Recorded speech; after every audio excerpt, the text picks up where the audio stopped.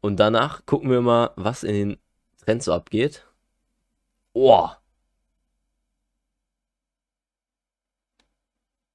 Nee.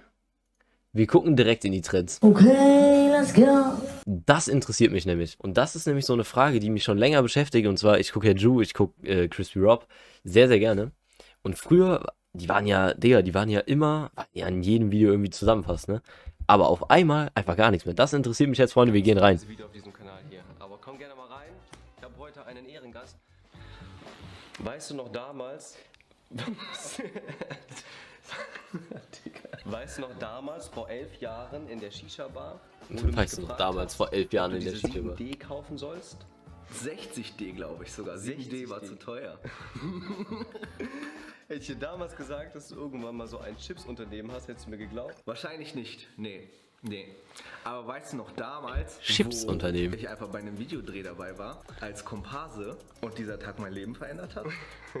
Also no joke, Freunde. Ich kannte dich vom Breakdance-Training und dann warst du in der Halle, meintest du, yo, wir drehen morgen einen Kurzfilm. Hättest du nicht Lust dabei zu sein? Das Einzige, was du brauchst, ist ein weißes Hemd.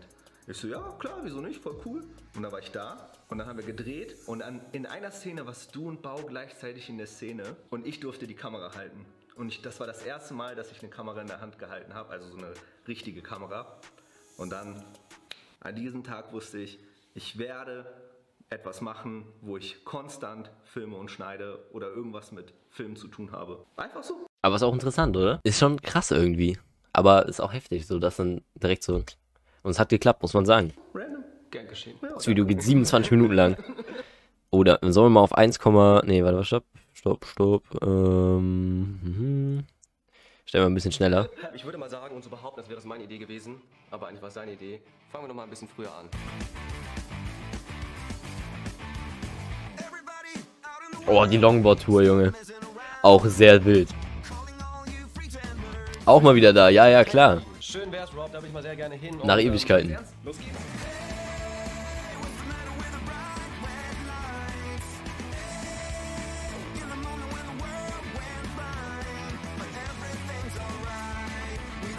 Digga, diese alten Videos von Ju, ne? Boah, Junge, man vermisst sie schon sehr, Alter. Ich sag's euch ehrlich. Moin, Chef, moin, was geht?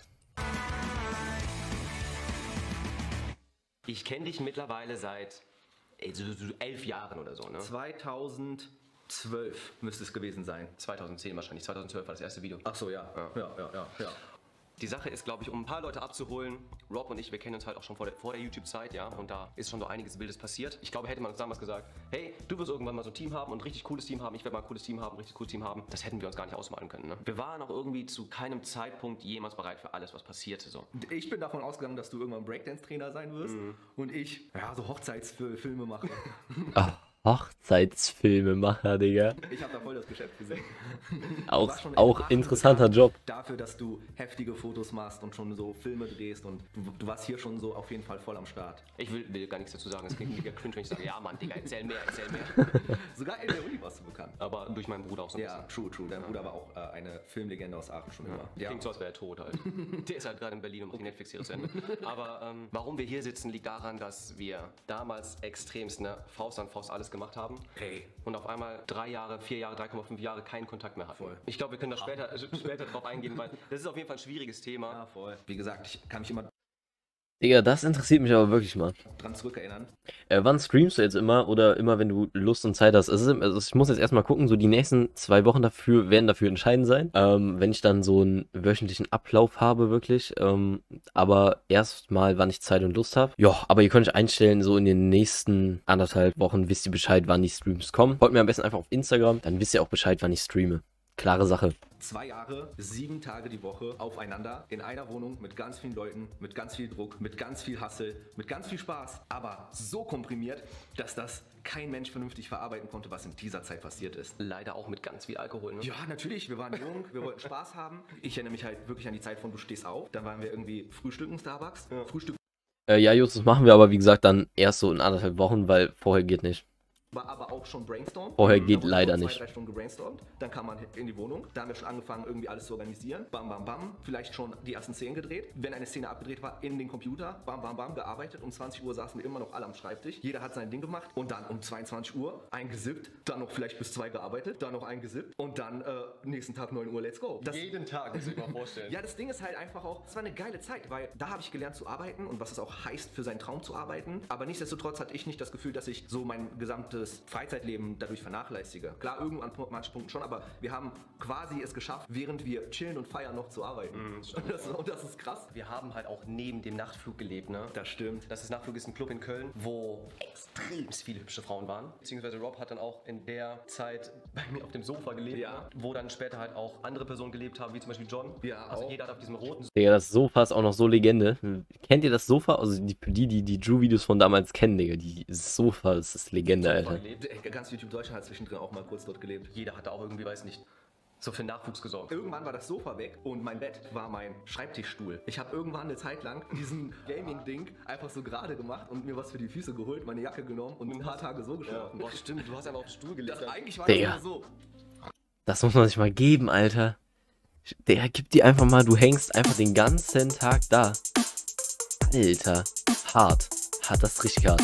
Leon, Digga, danke für deinen äh, Host. Stell dir vor, du pennst den ganzen, ein paar Tage einfach so. Okay, let's go. Alter, krass. Warum hab ich dir kein Bett gegeben? Ich hatte so, ein, so, ein, so, ein, ähm, so eine Matratze, die ich mir theoretisch hinlegen konnte, aber ich habe es irgendwie auch gefühlt. Ich, wie gesagt, ich, ich habe diesen Film auch sehr geliebt und gelebt. Es, war, es, hat, es hat dazugehört. Ja, krass, Es hat krass, so krass. für mich die, die Passion irgendwie gezeigt von so, wir ziehen das durch. Abgesehen davon, dass wir bis Freitag äh, 14 Uhr in ein Video zusammen drehen mussten für deinen Kanal, was irgendwie die ganze Welt sieht, zu, ich wollte noch meinen Kanal machen, zu tausend andere Dinge. Das alles komprimiert in einer Woche. Das, war krank. Deinen Druck hätte ich nicht haben wollen zu der Zeit. Ein Traum, aber gleichzeitig auch, boah, die schlimmste Challenge, die man haben kann. Und jedes Mal Ey, ich kann mir aber vorstellen, wenn du halt deine Freundesgruppe hast und du ziehst das mit denen voll durch, Digga, dann geht das halt auch einfach. Klar, wisst ihr, wie ich meine? Dann bockt das halt auch. Okay, wie toppe ich denn das jetzt noch, ne? Auf jeden Fall, wir haben dort gelebt, ne? In diesem kleinen, engen Raum. Und da waren halt teilweise auch sieben, acht Leute, die quasi gerade sich nur fokussiert haben auf einen ganz gewissen Punkt. Und das war das Projekt. Dann wollte man mit dieser Überenergie einfach den Tag nicht enden lassen. War feiern, ne? Wir verkadert, wieder drehen. Aber geil, weil alles irgendwie so berauschend war oder aber teilweise man auch nicht mehr abschalten konnte. So, das war halt eine wilde Zeit, wo man, wo ich jetzt selber sage, das war ein bisschen viel Alkohol. Aber dann hat's auch. Findest du? ich weiß nicht. Rob ist so ein. War, hat sich so angefühlt, dass ich Säufer. meine Erwachsenenzeit ausleben Ah, konnte. krass, geil. Er hat auch immer gekocht für uns. Das Ja, stimmt. brutal kalorienstark, das Ganze. Und dann hatten wir noch einen Wurstwilli daneben. Das war der Laden, wo wir halt immer Da, Cheeseburger und da Hotdog haben wir gekauft haben. viel. Alter, der Stefan Raab-Kiosk. Du willst gar nicht wissen, wie viel Geld wir dort ausgegeben haben. Der Stefan Raab-Kiosk. Also freundlich war er jetzt erstmal nicht zu mir, so, ne? Weil er war ja auch der Stefan Raab-Kiosk. Ja, ne? Und der bist du. Und dann hat er mir irgendwann so ein, sein Handy davor gehalten, hat gezeigt, so Trickshot-Videos, die wir damals gedreht haben, ne? Und so auf Facebook hätte es 20 Millionen Klicks. Und er so, bist du das? Ich so, ja, bin ich so. Korrekt, Bruder. Köln. Geil. Zeit war eine kranke Zeit auf jeden Fall. Ja, und nach Köln ging es für dich nach Richtung Aachen. Da war zwischenzeitlich auch noch der Gedanke, ob ich auch mitkomme. Da fing es irgendwie auch alles an, dass ich mehr auf eigenen Füßen stand, auch mehr mein Ding gemacht hat und irgendwie eine Vision hatte. Ja, es war, glaube ich, immer so. Wir wollten immer schon von vornherein beide YouTube-Shit machen. So. Voll. Du hast dich halt immer wieder eingebracht in die Videos und warst irgendwann unentbehrlich für die Videos. Wenn du nicht Das ist schon krass, Alter. Das ist schon, ist schon krass, ne? Aber versteht man natürlich auch so. Rob wollte ja seinen Kanal, hat er ja auch erfolgreich gemacht so und äh, dabei warst, es ist für beide eigentlich gut gelaufen. Das Einzige, was halt echt krass ist, halt wirklich das, ähm, wie heißt es, dass äh, Ju halt einfach die Videos gar nicht mehr macht, sondern auch quasi nur noch streamt und, ne? Aber es ist halt auch viel Arbeit so. halt auch nicht irgendwie ein Video fassen. So, ne? Der Traum war immer, dass beide YouTuber wurden. Ich habe immer, glaube ich, versucht, so, mach doch das, mach doch das, mach doch das. So ein bisschen, jeden so ein bisschen geholfen, aber du warst trotzdem so fokussiert. Ich gehe noch meinen Weg, aber du wolltest einen richtig geilen Plan, du wolltest einen richtigen geilen Einstieg haben, den du im Nachhinein auch extrem hattest. Dann hat sich irgendwann getrennt, so, trotzdem freundschaftlich. Wir haben gesagt, okay, geil. Du warst in Köln, ich war in Aachen. Ja. Wir hatten einmal diese Pyjama-Gang, ne? Ja, true. Mit Joey, Rezo, du und ich. Ja. Das war auch eine wilde Zeit, weil wir irgendwie einfach mal, ich glaube, acht Videos in zwei Wochen gemacht haben. Das war und die waren alle High Quality so. Also Das, das,